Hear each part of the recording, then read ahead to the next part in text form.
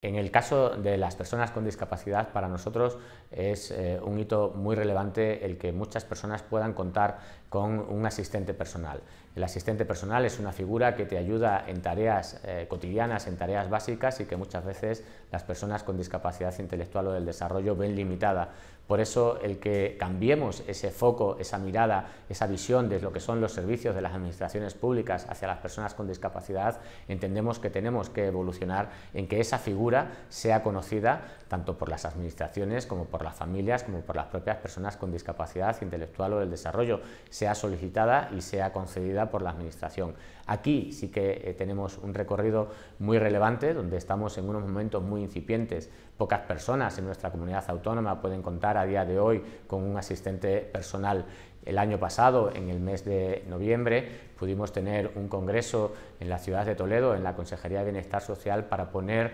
eh, de relevancia que esta situación es una situación que se está dando y que muchas personas pues, también tienen derecho a, tener, a, poder contar con esa figura, porque sin duda alguna lo que va a facilitar esa figura es que nuestra vida sea mucho más simple, mucho más sencilla, mucho más fácil y podamos también obtener esos resultados que cada uno nos marcamos y que a veces las personas con discapacidad intelectual, si no es con ese tipo de ayuda, pues no podrían obtener. continent.